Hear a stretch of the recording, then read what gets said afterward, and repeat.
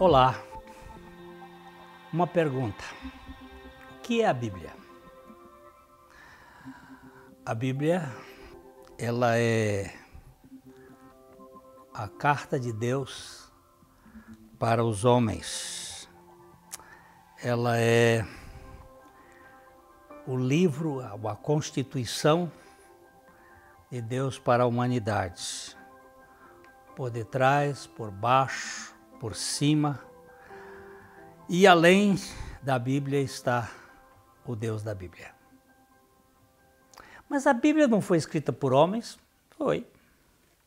Qual foi o livro que não foi escrito por homens? Todos os livros são escritos por homens. A diferença da Bíblia e outros livros é que homens inspirados falaram movidos da parte de Deus. Mas como é que nós vamos saber que estes homens eram inspirados? Primeiro, pelo conteúdo, segundo, pelo tempo, pela permanência, e terceiro, pelos resultados. O conteúdo é imutável. Deus escreveu através de homens, homens como nós, homens falhos, mas homens que foram inspirados. Dentro de um período de mais ou menos 1600 anos, 40 homens escreveram a Bíblia, é, sem que eles tivessem contato uns com os outros, alguns nem sabiam, e eles escreveram é um livro que ele se encaixa como se fosse uma orquestra, uma sinfonia de uma orquestra. É como se você tivesse músicos tocando em vários períodos e eles, quando se junta, forma uma harmonia perfeita. A Bíblia é composta de uma orientação espiritual que é diferente de um simples mente humana. Ela foi, foi produzida por obra do Espírito Santo. Na Bíblia chamada protestante são 66 livros, na Bíblia católica são 72 e tem algumas diferenças é, é, de, com relação aos livros que são chamados apócrifos por uns, mas o conteúdo da Bíblia ele se encaixa, é, ele é perfeito. E depois o tempo, você imagina, é, tanto na produção quanto na sua permanência esses anos todos.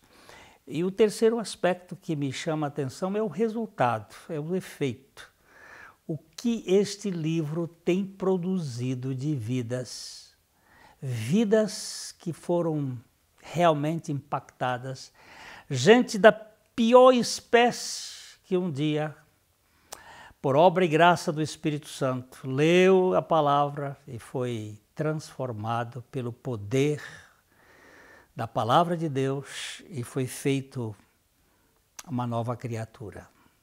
A Bíblia ela é um mistério. Ela Deus supervisionou os autores humanos da Bíblia para que estes compusessem e registrassem sem erro sua mensagem à humanidade utilizando palavras dos seus escritos originais que têm tocado profundamente na vida de milhares, milhões de pessoas. Deus escolhe pessoas como quer e regenera os seus escolhidos e usa os seus regenerados, capacitando-os para missões específicas em seus propósitos. A Bíblia, ela é irrefutável. Tem sido perseguida, tem sido queimada, tem sido ah, combatida, mas ela se basta. Ela é como um leão você solta ele da jaula e ele se basta na floresta. E a Bíblia também, ela se basta. E ela pode ser a grande bênção para a sua vida. Leia a palavra de Deus, leia a sua Bíblia e você terá a revelação de Deus para o seu coração. Que Deus lhe conceda esse privilégio na leitura da palavra de Deus. Eu peço que você inscreva-se no nosso canal também e acione o sininho para receber as notificações.